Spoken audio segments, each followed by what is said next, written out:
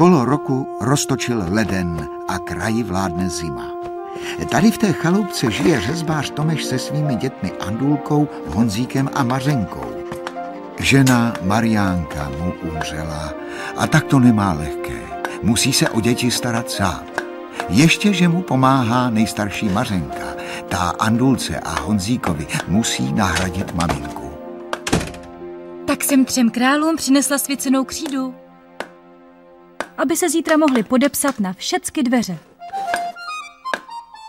Ta je školní a ne svěcená. Bodejže školní.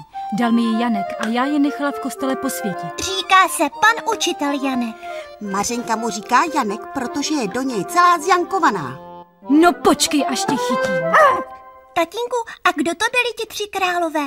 No přeci Kašpar, Melichar a Baltazar. Oni to byli vlastně takoví učenci z východu. Vyčetli z hvězd, že se v Betlémě narodil Ježíšek, boží syn. Vydali se k němu z dary, aby se mu poklonili. Ale museli jet tajně, aby král Herodes nepoznal, ve kterých jesličkách Ježíšek leží. Věděli, že ten král chce dát malého Ježíška zabít. Jo, a proč? No, bál se, že mu Ježíšek jednou vezme korunu a stane se králem. Ježíška zachránil anděl, varoval tatínka Josefa. Josef posadil maminku Marii s Ježíškem na oslíka a před zlými vojáky utekli.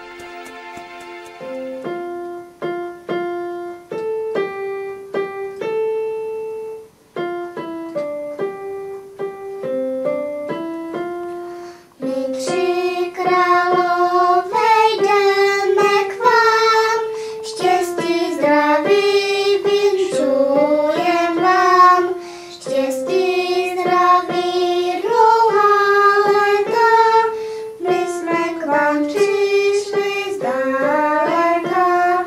Zdaleka je cesta naše, naše.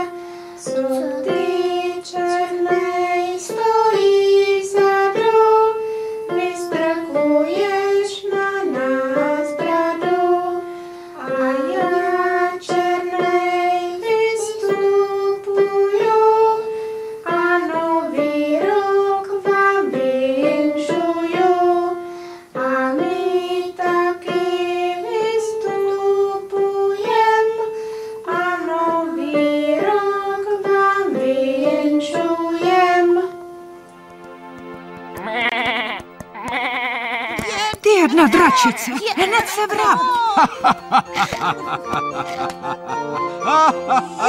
Pověď! Za ní honem! Honem!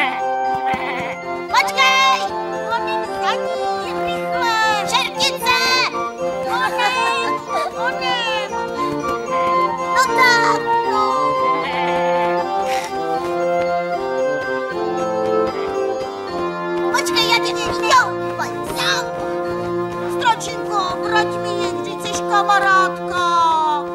A tak kamarádka Straka znovu korunovala krále Kašpara.